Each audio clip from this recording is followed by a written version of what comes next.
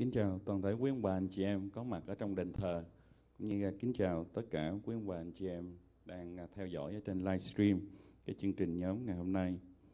À, tôi muốn nói một lời cảm tạ ơn Chúa như à, cô Hạnh đã có nói về cái kỳ nghỉ dưỡng cuối tuần vừa rồi. Tôi cảm thấy rằng à, Chúa thật sự ban cho chúng ta phước hạnh từ ở trên thể chất cho tới tâm hồn và tâm linh. Phải nói là từ ngoài vô trong đầy đủ, ăn uống thân thể đầy đủ, tâm hồn thì Chúa cho mình chiêm ngưỡng cảnh thiên nhiên quá đẹp, phải không? Rồi mình lại có tâm tình để nối kết với Chúa và nối kết với nhau. Và vui hơn là thấy những anh em trong kỳ nghỉ dưỡng hôm nay có mặt ở trong đền thờ. Amen.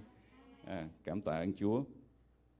Hôm nay chúng ta cùng đến với nhau nơi bàn tiệc của Chúa để chúng ta à, dự tiệc thánh.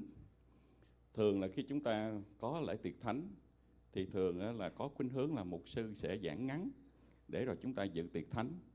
Nhưng mà hôm nay tôi xin phép là phải nói cho rõ để chúng ta hiểu ý nghĩa tiệc thánh trước khi chúng ta nhận với nhau.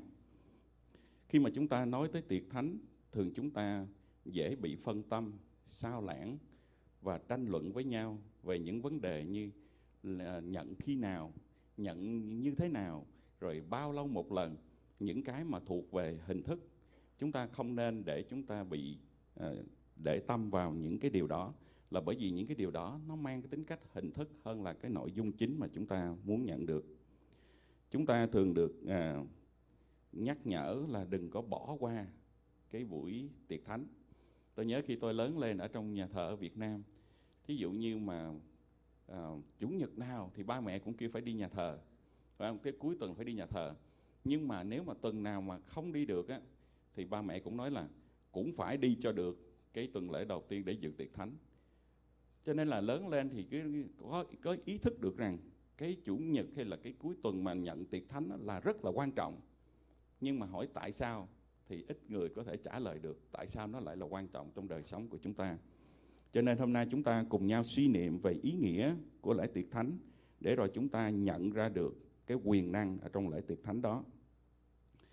Tôi bắt đầu để nói với ông bà anh chị em khi chúng ta đến ăn bánh và uống chén, chúng ta nhớ tới cái tội lỗi đầu tiên vào trong thế gian cũng bắt đầu vì cái vụ ăn uống. Nhớ không? Là Adam và Eva ăn trái cấm.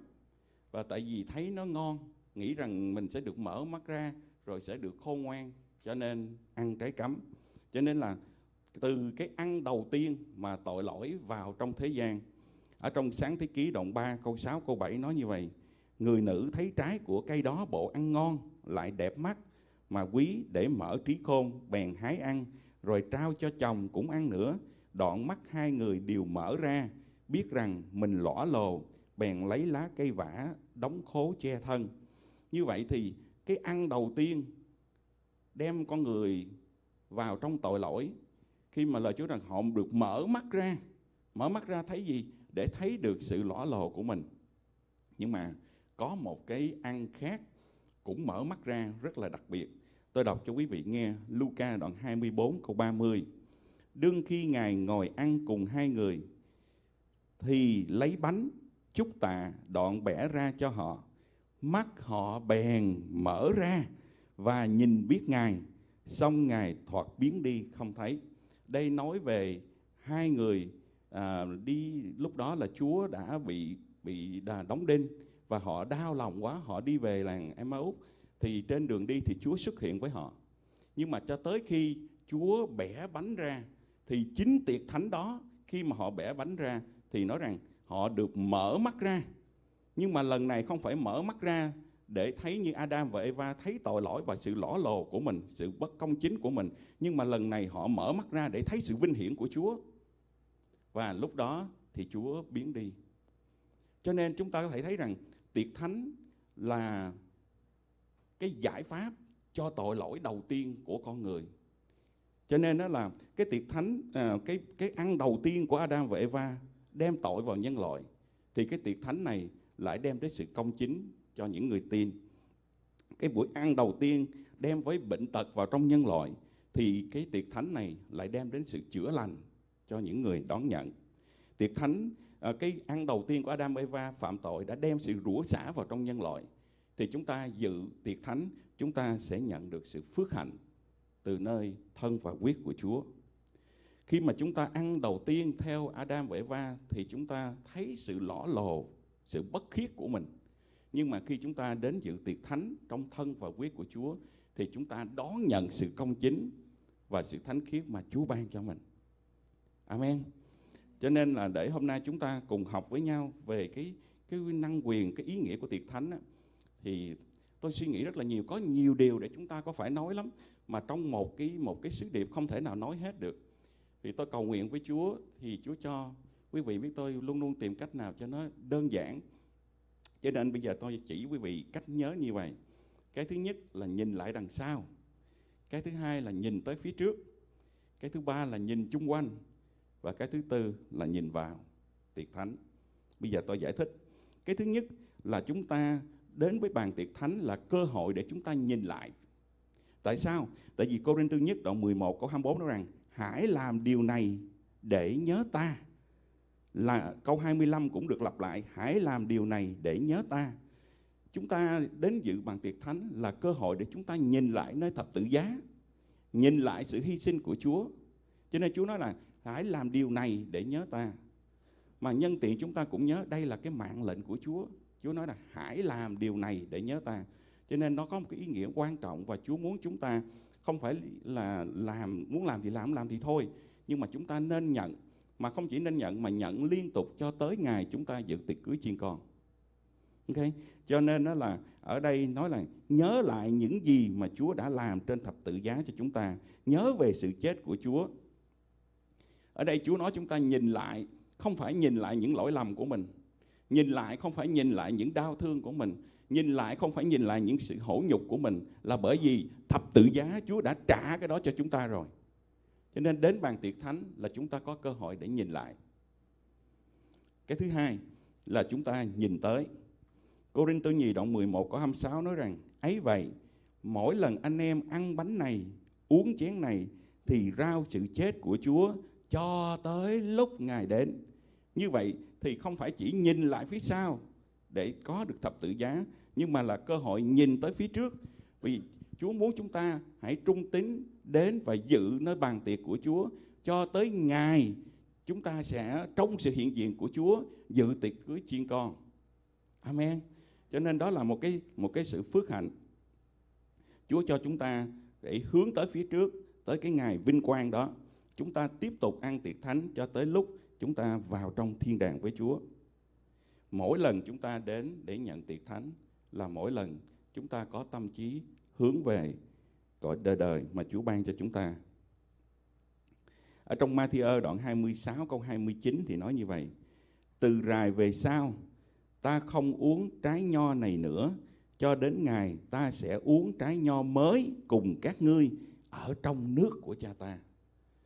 Cho tới ngày ta sẽ uống cái nước nho mới với các ngươi ở trong nước của cha ta. Như vậy có phải là nhìn tới không? Nhìn lại là thập tự giá, nhìn tới là thương thiên đàng. Bây giờ nhìn chung quanh. Tại sao tôi gọi là nhìn chung quanh? Ở trong cái phân đoạn kinh thánh này có một cái điều à, rất là khó hiểu. Cô Rinh Tư nhất đoạn 127 rằng bởi cớ đó ai ăn bánh hoặc uống chén của Chúa cách không xứng đáng thì sẽ mắc tội với thân và huyết của Chúa. Cái câu này tôi lớn lên trong hội thánh truyền thống và được giải thích sai. Cho tới khi tôi học tôi biết là họ giải thích sai. Mỗi lần vào trong đền thờ, chúng ta nghe ông, ông mục sư hay nói rằng à, quý vị cần phải xét lại đời sống của mình coi mình có xứng đáng để nhận à, bánh và và nhận thân và huyết của Chúa hay không. Kính thưa quý ông bà anh chị em, chúng ta không ai xứng đáng cả. Không có tuần nào mà xứng đáng cả. Có nhiều người tôi thấy rất là thành thật. Thưa mục sư, tuần này tôi không nhận tiệc thánh đâu, vì tôi thấy tuần này tôi không xứng đáng. Tuần nào ông xứng đáng? Không có tuần nào ông xứng đáng để nhận hết á. Phải không? Không có tuần nào chúng ta là hoàn hảo cả. Cái chỗ này chúng ta hiểu sai. Ở đây nói rằng cái cách chúng ta ăn không xứng đáng, chứ không phải nói là con người chúng ta không xứng đáng. Mà để giải thích cái điều đó, thì chúng ta đọc lại chúng ta đọc cái văn mạch đó, thì chúng ta sẽ hiểu là lời Chúa muốn nói cái gì là vì chúng ta dùng lời Chúa để giải nghĩa lời của Chúa thì chúng ta sẽ hiểu. Tôi đọc từ câu uh, à, từ câu 17 cho quý vị thấy. Trong khi tôi truyền lời cáo dụ này, chẳng phải khen anh em vì sự nhóm lại của anh em không làm cho mình hay hơn mà làm cho mình tệ hơn. Có nhiều lúc chúng ta nhóm lại không phải làm cho chúng ta tốt hơn mà làm chúng ta tệ hơn. Ông follow nói đó. Bây giờ ông muốn giải thích. Trước hết tôi nghe rằng khi anh em có sự nhóm hợp hội thánh thì sanh ra sự phân rẽ. Tôi cũng hơi tin điều đó. Vì chắc trong vòng anh em phải có bè đảng hầu cho được nhận biết trong anh em những kẻ nào thật là trung thành. Vậy khi anh em nhóm nhau lại một chỗ, ấy chẳng còn phải là tiệc thánh của Chúa, ấy chẳng còn phải là tiệc thánh của Chúa. Mà anh em bởi vì lúc ngồi ăn, ai cũng nôn nã mà ăn bữa riêng mình, đến nỗi người nọ chịu đói, còn kẻ kia thì quá độ. Anh em há chẳng có nhà để ăn uống sao? Hay là anh em khinh bỉ hội thánh của Đức Chúa Trời, muốn làm cho những kẻ không có gì phải hổ thẹn? Đây là cách ăn không xứng đáng. Ông nói cách ăn không xứng đáng là tại vì trong hội thánh đầu tiên, trong cái buổi tiệc thánh, người ta đem thức ăn đến để thông công với nhau. Và có những người giàu thì họ đem thức ăn hàng hàng buổi và họ đem nhiều. Và có những người nghèo thì họ không có cái gì để đem. Cho nên là cứ người giàu phải đem thức ăn cho người nghèo. Tới một lúc những người giàu họ thấy như vậy á, thì họ tới sớm họ ăn hết cái phần của họ. Rồi tới những người nghèo tới thì không còn gì để ăn. Thì ông Phaolô nói rằng anh em đã làm cho những người không có gì trở nên hổ thẹn. Và cái cách anh em ăn như vậy thì đó là cách anh em ăn không xứng đáng. Cho nên à, tôi nói với lại quý vị là chúng ta nhìn chung quanh có nghĩa là gì? Ví dụ, ở đây chúng ta nói là quyết của Chúa, nhưng mà đây chỉ là tượng trưng cho quyết của Chúa, đúng không? Rồi chúng ta nói rằng đây là thân của Chúa. Nhưng mà đây chỉ là tượng trưng cho thân của Chúa. Trong cái bữa uh, tiệc thánh đó Chúa nói này là quyết ta này là thân của ta. Chúa đâu có lấy dao cắt thịt nữa. này là thân của ta. Thì cái đó là mình nói là thân Chúa thiệt. Hay Chúa lấy máu của Chúa. Nhưng mà ngay lúc đó Chúa lấy bánh Chúa lấy chén thì chúng ta biết cái đó là tượng trưng. Nhưng mà tôi hỏi quý vị nè cái này là tượng trưng thân thể của Chúa còn thân thể thiệt của Chúa là ở đâu? Thân thể thiệt của Chúa là cái người đang ngồi kế bên quý vị đó. Tại vì Chúa nói Chúa là đầu và chúng ta là thân thể. Mỗi người chúng ta là chi thể trong thân thể. Cho nên khi mà chúng ta đến dự thì ngày nay chúng ta nói là chúng ta đâu có thiếu thức ăn như ngày xưa mà người có, người không. Như vậy thì ăn cách không xứng đáng là như thế nào? Là khi chúng ta không có nghĩ tới anh em của mình, là khi chúng ta có những sự hiềm khích với anh em của mình, chúng ta có sự cay đắng với anh em của mình, chúng ta có sự không tha thứ với anh em của mình mà chúng ta đến bàn tiệc của Chúa, thì đó là cách không xứng đáng. Cho nên là chúng ta cần phải xét lại. Chúa nói rằng nếu mà chúng ta vào trong đền thờ dân của lễ cho Chúa mà chúng ta nhớ rằng chúng ta có sự bất hòa với người nào thì phải để cái của lễ đó đi làm hòa trở lại mới trở vào. Đúng không các bạn chị em? Cho nên tôi nói rằng tiệc thánh là lúc chúng ta không phải chỉ nhìn phía sau, không phải chỉ nhìn phía trước mà nhìn chung quanh. Nhìn đi, coi có ai làm mình giận không? mình có mình có giận ai không có ai làm mình buồn không thật sự là có những hội thánh họ dành cái thì giờ này và đã có những trường hợp họ đến họ nói rằng tôi xin lỗi ở trong tuần qua tôi đã tôi đã có cái lời nói này không tốt tôi nghĩ rằng tôi đã có cái cảm xúc này à, đối với anh nó tiêu cực nó tôi đã suy nghĩ không không đúng về cô về chị đó là cái cái cái hành động của hội thánh nên làm khi chúng ta đến với tiệc thánh tôi gọi cái đó là nhìn chung quanh Nhìn phía sau để thấy thập tự giá, nhìn phía trước để thấy sự vinh hiển ở trong tiệc cưới chiên con. Nhìn chung quanh để thấy rằng anh chị em mình là thân thể. Để chúng ta có thể xin Chúa ngày tha thứ chúng ta phục hòa lại để chúng ta cùng dự tiệc thánh. Và cái cuối cùng và cái rất là quan trọng đó là tôi gọi là hãy nhìn vào nhìn vào chính thân và huyết của Chúa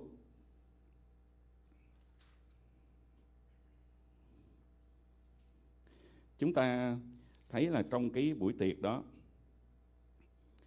Chúa có nói chúng ta ăn và Chúa nói với chúng ta uống. Cái đầu tiên tôi nói tới cái ăn, Chúa nói là hãy ăn, đây là thân thể của ta, như trong câu 24. Nhưng mà câu 29 lại có nói như vậy, vì người nào không phân biệt được thân Chúa mà ăn bánh uống chén đó, tức là ăn uống sự xét đoán cho mình. Câu 30 lại nói tiếp rằng, nhiều người à, ấy vì cớ đó mà nhiều người tật nguyền đau ốm và có lắm kẻ ngủ. Cái chỗ này cũng là cái chỗ khó hiểu nữa. Có nhiều người nói ờ, Ôi vậy mà mình vô nhà thờ dự tiệc thánh mà không xét lấy mình mình mà còn tội lỗi gì đó là bệnh, chết sớm ráng chịu. Thành ra cuối cùng có những người vào, không dám dự tiệc thánh. Không, thà là đừng dự. Dự tiệc thánh rồi lỡ mình có cái tội lỗi gì, mình chưa xưng hết, rồi về cái bệnh tật, rồi chết sớm. Phải không? Cái câu này không có đúng. Thực ra nó nó có rất là hay cái chữ là ấy vì cớ đó. Đây là cái chữ số ít, chỉ có một lý do mà khiến cho chúng ta có thể bị tật nguyền, bị đau ốm và có những người phải chết trước cái cái độ tuổi của mình. Là tại vì sao? Là tại vì chúng ta không phân biệt được thân của Chúa. Như vậy thì như thế nào gọi là phân biệt thân của Chúa? Chúng ta không phải chỉ đến ăn một cái miếng bánh như là ăn snack hay là một cái lễ nghi chúng ta làm hàng tuần. Nhưng mà khi chúng ta đến thì chúng ta phải nhớ lời của Chúa nói rằng, những lần roi Ngài chịu thì chữa lành tật bệnh của chúng ta. Cho nên thế gian này là thế gian của sự à, của tội lỗi, của sự xa đọa. Và cái bệnh tật, cái đau yếu, cái rủi xả nó đã có ở trong thế gian. Nhưng mà tiệc thánh này chính là giải pháp để đem chúng ta ra khỏi điều đó. Khi chúng ta hiểu rõ ý nghĩa của thân của Chúa. Tôi đọc lời của Chúa trong Esai đoạn 53 câu 5 nói như vậy nhưng người đã vì tội lỗi chúng ta mà bị vết vì sự gian ác chúng ta mà bị thương bởi sự sửa phạt người chịu chúng ta được bình an bởi lằn roi người chúng ta được lành bệnh. Thật ra người do thái trong cái bánh mà họ dự tiệc thánh á, là nó có những cái à, nướng lửa những cái mà mình thấy nó cháy ở trên cái miếng bánh đó. Họ nói rằng họ muốn dùng cái hình ảnh đó để nói lên là những cái lằn roi mà Chúa chịu. Thật ra trong cựu ước khi mà người ta nói tới à, đem chiên con vào dân trong đền thờ là chiên không có tỳ vết những con chiên rất là dễ thương. Nhưng mà chiên con của Đức Chúa Trời trên thập tử giá thì bầm dập. Chúa bị tra tấn Chúa bị lằn roi. Cho nên là lời của Chúa trong Esai 53 câu 5 nói rằng bởi những lằn roi người mà chúng ta được lành bệnh. Cho nên khi chúng ta nói là chúng ta phân biện được thân của Chúa đến nhận một cách xứng đáng tức là chúng ta đến và nói rằng Chúa ơi con nhận thân của Chúa và con công bố rằng con sẽ được sự chữa lành. Chúng ta biết rằng chúng ta đến trong cơ thể chúng ta từ đỉnh đầu tới gót chân có cái điều gì đau, chúng ta đến chúng ta nhận và chúng ta tin là cái sự chữa lành nó sẽ đến với mình. Khi chúng ta không hiểu điều đó thì chúng ta sẽ không nhận được. Cũng giống như bây giờ ở trong cái phone này nó có nhiều chức năng rất là tốt mà đưa cho tôi cái phone mà tôi không hiểu chức năng thì cuối cùng cái chức năng đó cũng không ích lợi gì cho tôi. Chính vì vậy mà có nhiều người đến dự tiệc thánh mà không phân biện được ý nghĩa của thân thể của Chúa thì lại không nhận được cái quyền năng ở trong thân thể đó cho mình.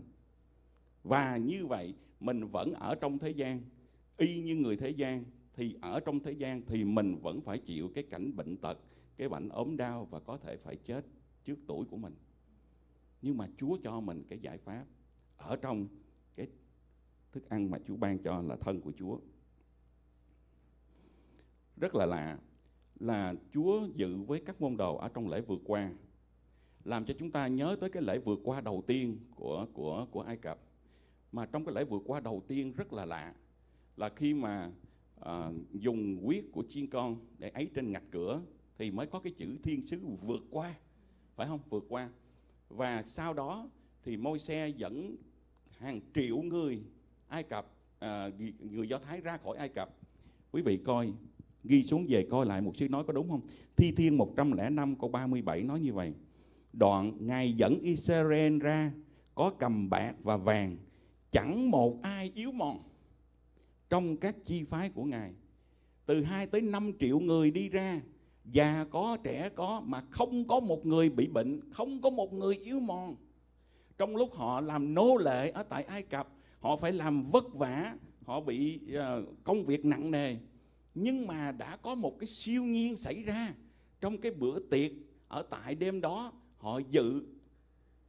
Và bữa hôm sau họ đi ra thì nói rằng không có một người nào là đau ốm, không có một người nào là mòn mỏi. Như vậy thì chúng ta thấy rằng đó là trong cụ ước, trong giao ước cũ mà con dân Chúa còn nhận được cái năng quyền ở trong cái cái thân và và huyết của Chúa hình bóng của thân và huyết của Chúa lúc đó. Bây giờ chúng ta nhận chính thân và huyết trong giao ước mới của Chúa, thì chúng ta càng nhận được cái cái năng quyền ở mức độ nào. Cho nên đó là khi chúng ta đến nhận, thì nhìn vào ở trong cái miếng bánh, trong thân của Chúa, thì phải biết rằng, Chúa ơi, con nhận lấy sự chữa lành của Chúa. Cái điều cuối cùng là nói tới cái uống. Thì trong Cô Đinh Tư nhất đoạn 11 câu 25 thì nói rằng chén này là sự giao ước mới trong huyết ta. Hãy khi nào các ngươi uống, hãy làm điều này để nhớ ta. Ở đây Chúa nói tới giao ước mới. Phải không? Trong Matthew đoạn 26 câu 28 thì cũng nói về cái buổi tiệc thánh đó thì nói như vậy. Vì này là quyết ta, quyết của sự giao ước mới đã đổ ra cho nhiều người được tha tội. Ngày xưa, khi mà đem con sinh tế dân vào trong đền thờ là nhắc cho chúng ta tội lỗi của mình. Tức là tội lỗi nó vẫn còn đó, chúng ta dân được tha đó rồi về rồi năm tới phải đem con của lễ khác rồi con sinh tế khác tới dân nữa. Cho nên là cái cái ý tưởng chúng ta, cái suy nghĩ, cái tội lỗi nó vẫn còn ám ảnh chúng ta. Nhưng mà ở trong giao ước mới, ở trong quyết của Chúa thì nói rằng chúng ta được tha tội. Ngài cất tội lỗi. Chiên con của Đức Chúa Trời cất tội lỗi của thế gian đi không phải là che giấu tội lỗi như ở trong giáo ước cũ mà là cất tội lỗi đó đi. Cho nên đây là cách mà tôi muốn khi chúng ta nhận tiệc thánh quý bà anh chị em nên nhận thân của Chúa thì mình thầm cầu nguyện mình công báo Chúa ơi con cảm ơn Chúa.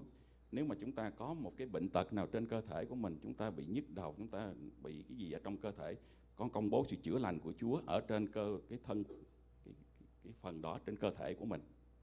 Amen và cái thứ hai, khi chúng ta nhận chén của Chúa, thì Chúa ơi, con ơi, Chúa ơi, con cảm ơn Chúa vì trong giao ước mới này, tội lỗi con được tha. Dứt khoát là tội lỗi mình được tha. Không có tới đây mà nghi ngờ, phải không? Cho nên khi mà mình tới là mình tới với sự tự tin. Đây là bàn tiệc mà Chúa dọn ra cho chúng ta. Không phải ông mục sư, không phải là các chấp sự chuẩn bị, mà chúng ta phải biết rằng đây là bàn tiệc của Chúa. Chính Ngài dọn ra cho chúng ta và chúng ta đến để nhận sự năng quyền ở trong thân là sự chữa lành. Ở trong quyết là sự tha tội, để chúng ta sống đắc thắng ở trong Chúa. Amen. Như vậy, mỗi lần chúng ta đến dự tiệc thánh, từ đây trở đi, nếu mà người khác hỏi mình ý nghĩa tiệc thánh, thì xin nhớ, nhìn lại phía sau, hãy nhớ lại những gì Chúa đã làm cho chúng ta trên thập tự giá. Nhìn tới phía trước, vì biết rằng chúng ta sẽ dự tiệc cưới chiên con với Chúa.